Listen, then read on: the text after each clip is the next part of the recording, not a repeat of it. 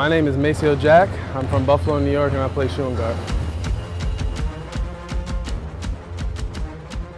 The team's goals for the season, just to win the A-10 championship. Have big dreams and I hope we accomplish them. Fans might be surprised to know that I'm a very good chess player. This team's greatest strength is our will to fight and our will to defend. That's part of my game has to be my shooting ability.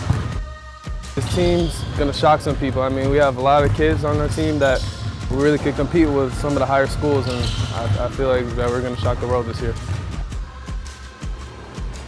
Maceo's greatest strength thus far has really been his work ethic. He's a coach's kid.